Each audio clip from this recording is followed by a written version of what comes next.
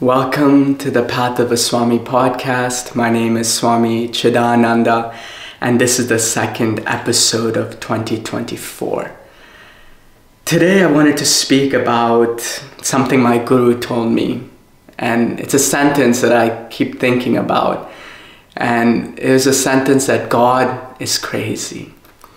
And I, I reflect upon this and I look at my own life and I think, you know, if somebody, somebody were to tell me 12 years ago that you would be a monk traveling the world speaking on spirituality, I would have told them that you're crazy. If you were to look at your own life, you know, if you're spiritually inclined, if you're just starting your spiritual journey, even if you came across this video randomly, just look at your life and the experiences that you've had. And sometimes it's hard not to look at it and say, wow, it's crazy how all of these things happen to me. So when we say this sentence, God is crazy, for me, this means it's amazing how God, the divine, plans everything in our life in such an intricate way. How every single experience is planned, not only for this life, but for many, many, many lives, right? To think about the, the people that we meet, the books that we read, the videos that we watch, the situations that happen in our life. It's amazing how the divine has meticulously planned our life to the very breath that we take every second.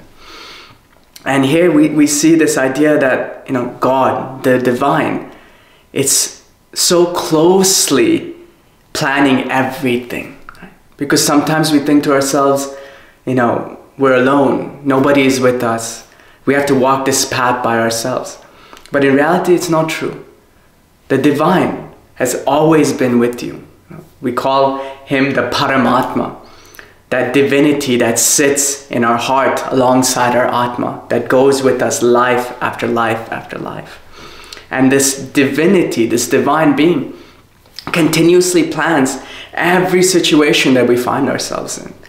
And so when, when my guru says God is crazy, he means it in the sense that it's amazing how everything is planned in such a way which is inconceivable to our mind, which is such a mystery to us. Right? And, and we shouldn't lose this wonder. Because I think a lot of times in our life, we become like zombies, right? We just walk around, we wake up, we go to work, we go to sleep, and we don't look around and say, look at all of the things that are happening around us. It can't be just coincidence. And when I look at my own life, even in the last few years, I find it amazing how the divine has planned so many interactions that I've had with people all around the world. I remember when I first came to, to New York City, um, I was looking for a place to stay and I couldn't really find anywhere. And of course, I didn't have any money. I was just getting a little bit of donations from people that I had, I was teaching at the time. And uh, I came across this place randomly. It was like an Airbnb. And uh, there was a guy, and he gave me a really, really good deal on a small room in this big house that, that he had. And I remember the first day that, that we met, he was traveling somewhere to Costa Rica or something like this. And, and that day he gave me the keys and, you know, I, I walked in looking like this and he was asking me about um, my path and, and what I'm doing. And I told him I'm a Swami. And uh, actually at this time I was a Rishi. And I said, you know, if you want, I could teach you a mantra. And you know, we could do a mantra together. And he was like, okay, let's do it. Because usually I, when I travel, I, I teach the mantra Om Namo Narayanaya. So we sat down together, we did the mantra, I gave him a mala. And then, you know, life carried on. So for about four years, I, I lost touch with him. I, I didn't really know what he was doing, where he was. And during this time, we also got the the ashram in New York, in upstate New York, and you know, life evolved. Life continuously changes. And just recently, I was in um, Topanga, California, and before that, I was actually in, in Miami at Art Week, and I met this this person. His name is David, and we had a really good connection. And we met again in California. I'd given a talk there, and uh, I had told him that I was going to go to Envision, which is a festival happening in a few days actually. And he said, Oh, you know, I go to Envision all of the time. I have a lot of friends in Envision. I create a WhatsApp group and um, add some people that maybe you can get in touch with. So he created this group, and I was looking at the, the people in it. And one of the people were this guy that I had met four years ago, randomly, when I was looking for an Airbnb in New York. And so I, I was like, oh, this is interesting. And I wrote to David. I said, oh, David, do you know this person? And pretty much it turns out that this person is his brother. And so it just so happened that four years earlier, I had met his brother randomly in New York at an Airbnb, taught him the mantra. Four years later, I meet David. I, we hang out in, in LA, we connect from a spiritual standpoint. And then it turns out that that's his brother. And so when I think about these things, I can't help but think God is crazy. Right? And this is the, the injustice that happens is that we start to, we stop to see the hand of the divine in our lives. We get so caught up in the ups and downs, the struggles, the um, anxieties, the things that we have to do, that we don't take time to be grateful. We don't take time to, to look at everything that's happened to us. Right? Because when we're not grateful, then, then we go into negativity and it's really important to, to look and say, you know, look, God plans things in such a meticulous way, in such a way that everything in our life is guided, that we should also understand that the tough parts are also planned by Him. The struggles are also planned by Him. The moments where we have to go through some, some deep transformation is also planned by Him because sometimes it's said that there's only two ways to grow on the spiritual path grace or suffering. And as humans, we don't always take advantage of grace. And so suffering is inevitable, not because the divine is, is uh, um, somebody that likes to see people suffer, a masochist. It's that sometimes that helps us to transform, that helps us to change. And so even the hard moments in our life has been planned perfectly so we can change.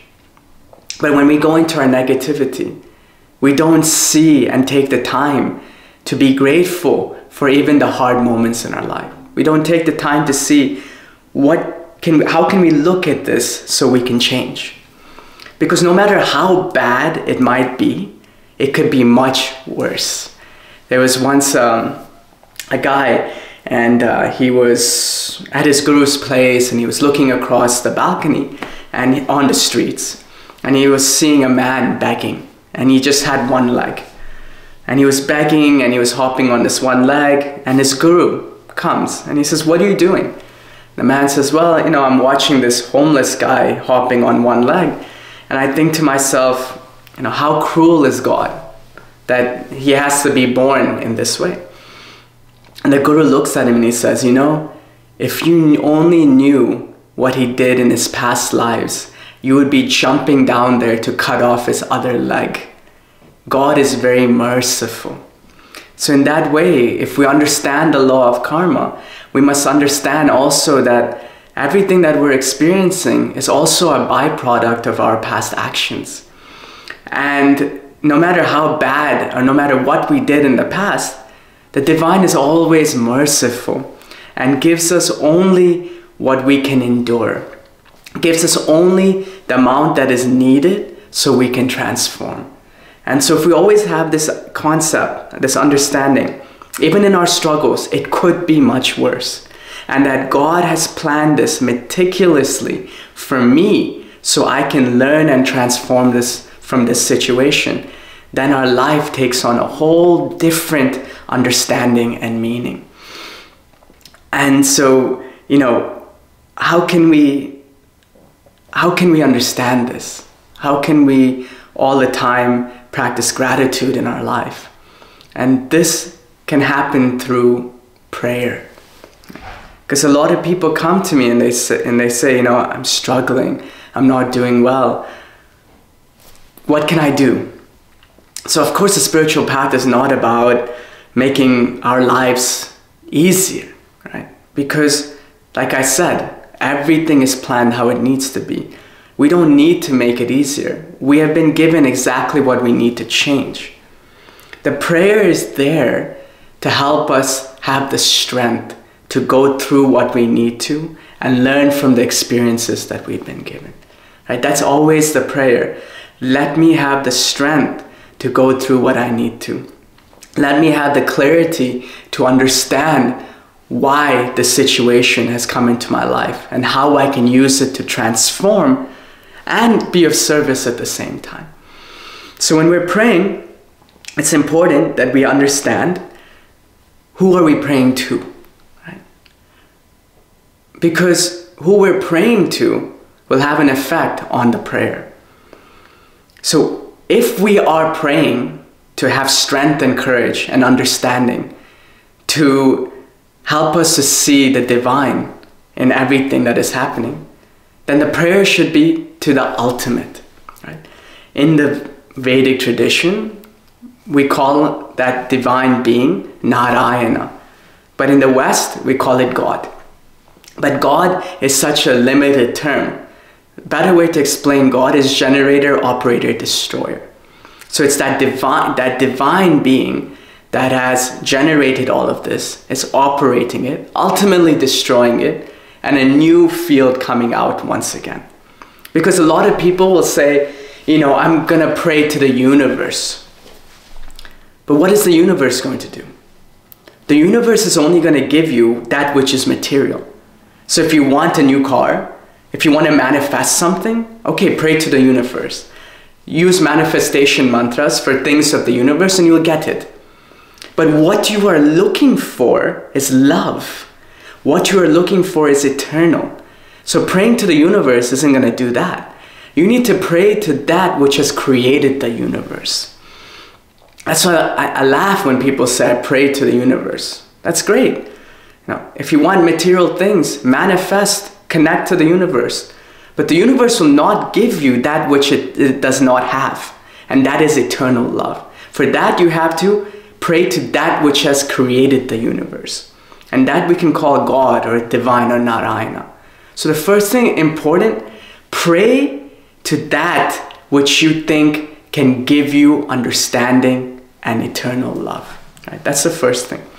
The second thing is how do we pray? Right? How can we pray? Of course, if we have a sincere heart, then we don't need to go to a temple. We don't need to go to a, a cave. We don't need to go to a church. In my home, sitting on my knees, I can pray to that divine being and say, please help me. But because our minds are so focused on the outside world, because our ego is so strong, it's hard to make that sincere prayer, that sincere connection. And so that is why how we pray is also important. So I always encourage people before prayer, come into a state where you feel connected to the divine. So one of the greatest ways, easiest ways to do that is through mantra chanting. By chanting a specific mantra with a specific vibration, we start to drop from the mind to the heart. And when we get to that heart space, then we can sincerely pray. Okay? So that's really important. That's why a guru is so important in our life. Because being around the presence of a guru, learning from a guru, we come to that state of purification where our prayers, we're really connected to God. You think just because a priest or a, a swami is in a temple praying that he's actually connecting to God. No, God's not going to listen. He's not going to, the divine's not going to listen to that. You know, you can memorize the entire Gita, you can look great, you can know everything. But if you don't have a sincere heart, the prayers are not going to reach the divine. So it's important how you pray. Prepare yourself through the practices and then sincerely pray to, to the divine, something beyond the universe, to to give you the strength to go through what you need to. And lastly, it's what do you pray for? So, as we spoke about in, in the last few minutes, it's important that what we pray for matters. Right? If we pray for something material, we don't need to pray to God. We can just go to a, a retreat, learn some manifestation mantras, connect to the universe in some way, and whatever you want of this world, you can have.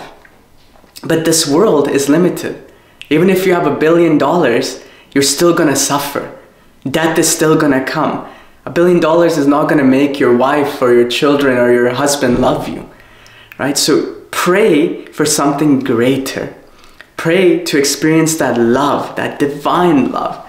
Pray to experience that love because when you experience it, then you understand that God is crazy. Everything is planned how it needs to. So it's really important that when you sit in prayer, pray to the ultimate properly learn how to pray and then pray for the right things. If you do those things, then you will see that your whole life will change. You'll find so much more clarity in your duty. You'll be so much more connected to the divine will. So, just wanted to share that some insights about prayer and about how we can view the divine. So, I want to say thank you to all of you that have listened so far. Uh, it's lovely to connect with all of you also when I'm traveling and, and to hear that uh, the podcast has somehow provided some insights for you. Uh, if you've listened this far, write in the comment section uh, what you what was a takeaway for you from this particular episode.